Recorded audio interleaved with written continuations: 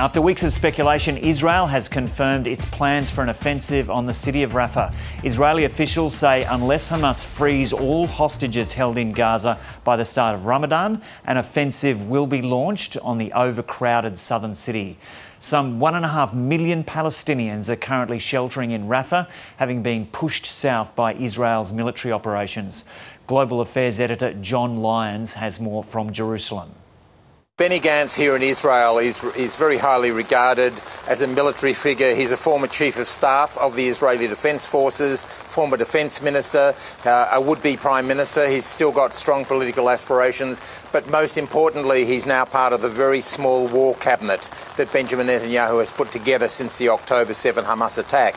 He is now saying that we, the Israelis, are giving um, Hamas a deadline of Ramadan, the beginning of Ramadan, which is March the 10th, to release all 130 hostages. Now, amongst those hostages, the Israeli army has suggested as many as 30 of them have not survived, so it would be the bodies being returned and there's between 80 and 100 believed to be still alive. So Benny Gantz is saying if we don't get all those 130 hostages and bodies by March the 10th, we will make a full ground invasion of Rafah.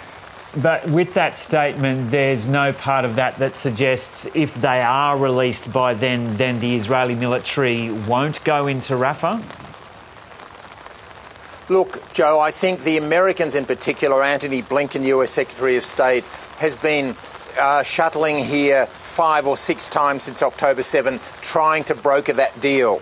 The pressure from Washington is that if those hostages are released, essentially the war should finish.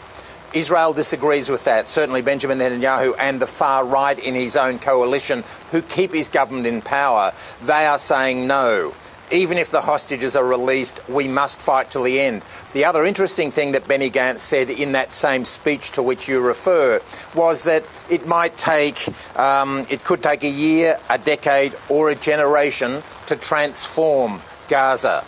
He didn't indicate what transform means, but the Israelis are settling in for a longer war. The Americans and allies want the war to come to an end.